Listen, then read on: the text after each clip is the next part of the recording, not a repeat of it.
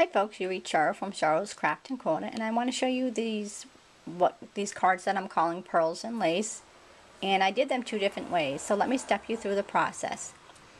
I used Whisper White Stampin' Up! cardstock and first thing I did was score the card at a quarter of an inch all the way around to give it the um, embossed frame. See if I can get it on the camera. There you go. And then I stamped the sentiment, thinking of you, with the teeny tiny wishes and the blushing bride ink and added two pearls next to the sentiment. Now to make these little squares, and you can see the two different ways, I couldn't decide which way I liked it.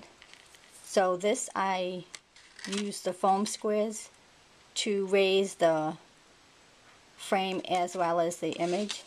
And this one here is I glued the frame directly to the cardstock and then I just raised the image off of that. So you got two different types of effects. I kind of like them both.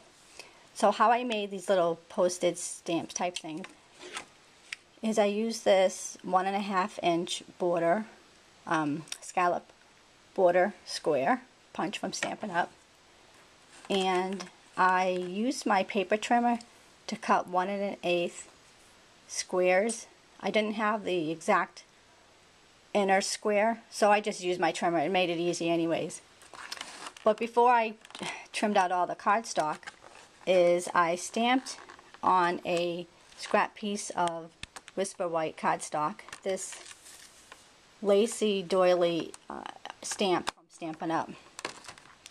So I stamped it on a piece of cardstock and then I cut out the various images with my paper trimmer at one and an eighth inch.